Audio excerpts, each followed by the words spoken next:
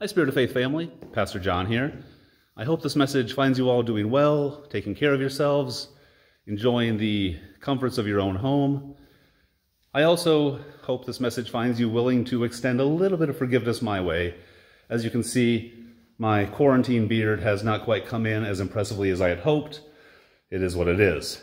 But a few pieces of exciting information I wanted to share with you all. First, you look over my shoulder, those are our palms. Our palms for Palm Sunday are here. This Sunday, this Sunday is Palm Sunday.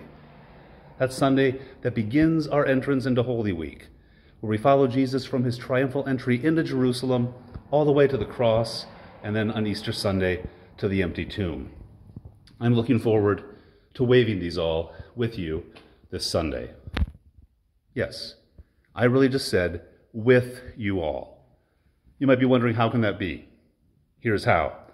I want to invite you all to join us for worship at Spirit of Faith this Sunday at our normal worship time of 9 a.m.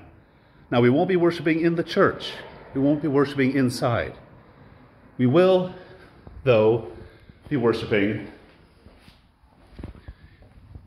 out here in our parking lot. That's right, we're doing drive-in worship. We will be broadcasting at our normal worship time on 89.3 FM SOF Spirit of Faith Radio. We will be live streaming our service at that time. It will reach our parking lot and the surrounding area, so you do need to be here to be able to hear it and participate. But we hope this is something that you will come out and join us in as we enter in to Holy Week. This is a great opportunity to get out of the house. I'm suspecting many of you are probably thinking that that's pretty appealing right now. A great opportunity to see our church family and to worship together. But I want to be clear we want to be safe with this all. And so we are going to ask that everybody please stay in their vehicles. You can feel free to honk and wave as excitedly as possible, but we want everybody to stay in their vehicles so that everybody is safe. I am so looking forward to seeing you all. I hope you will join us this Sunday. And after worship, we're going to put those palm branches to work because we are going to do an in car palm parade all around Woonsocket.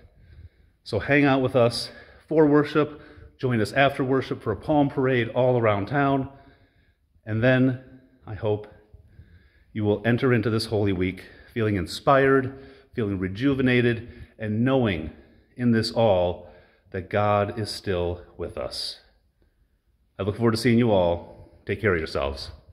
God bless.